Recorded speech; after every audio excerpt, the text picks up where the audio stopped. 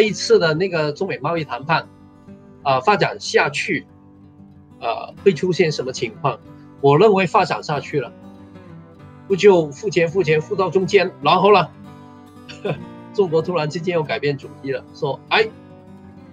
这啊这种协议呢对我对于我们不公平，也背离了我们的原则，然后说说说说一大番啊话了，然后呢就。呃，协议终止了，然后又回到原点，然后又继续谈，啊，会是如此，啊，呃，只是我认为啊，不会啊永远持续下去。我会认为未来啊一个半月，未来六个礼拜，这六个礼拜，假如说香港的情形能维持得住。能坚持得住的话，局面会扭转过来，会慢慢那个那个叫什么？中国方面会慢慢变得被动。那主要原因是因为我会觉得，假如说六个礼拜这一个半月，在十一月份，呃，习我们的习主席与美国特朗普见面之前。香港的场香香港的局面没法稳定下来，没法压下来的话，你看我们从六月份开始闹这个事，然后呢十一国庆没有压下来，到了十一月中啊，或者是到了十一月底，这个事情都还没有摆平。那十四现在呢，基本上是全中国。呃，新闻联播都在拼命报道香港的啊这个乱局，那难免十四亿人就会开始看到，哎，为啥搞了差不多半年，这事情还没压下来，都还没稳定下来？到底是香港那帮暴徒、那帮示威者很厉害，或者是啊我们国家？镇压暴力的力度出了情况，维稳的力度啊出了情况，到底是哪一边？那哪种可能性都对于中国政府的维稳工作会引起很大的挑战，而那个挑战呢不是简单的啊，不是不是不是轻微的，再加上猪肉猪肉价格啊高。就就就呃不就还是才在一个高的水平，然后后来，大家工作也不容易找到，然后呢，薪水没涨，通货就膨胀，然后房也不好卖了，房价也没有涨了，然后大家的工作也坚持不下去了，做生意亏本了，没钱供房了，然后呢，然后就会触发啊触发一些嗯。我们意想不到的事情，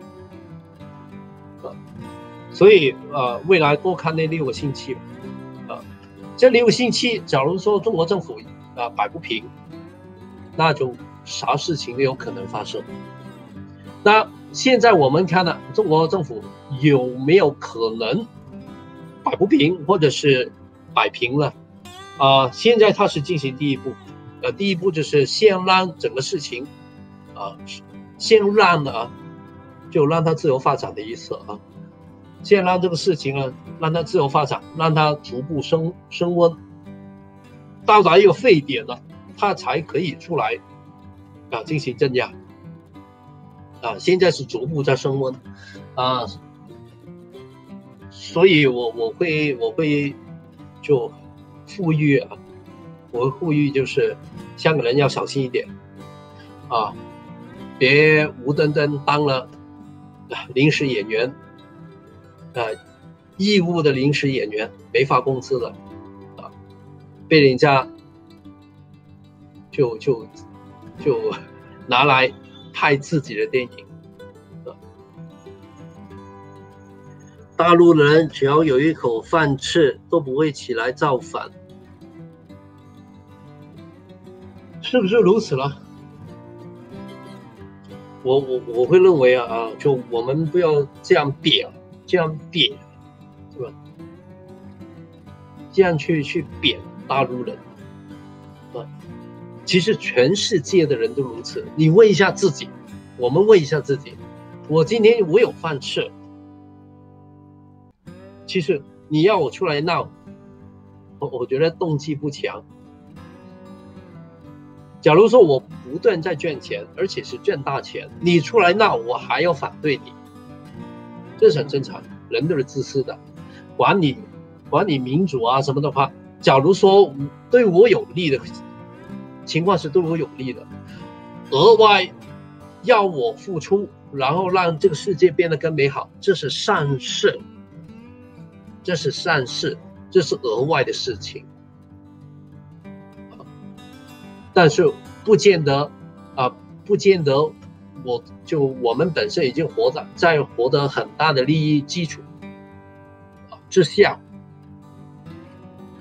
我们会为了全世界或者是其他人类的自由和平而牺牲我们所有的利益，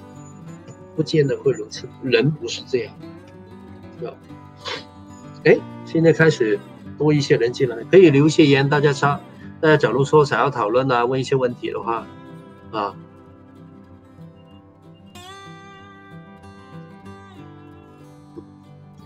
啊，然后呢，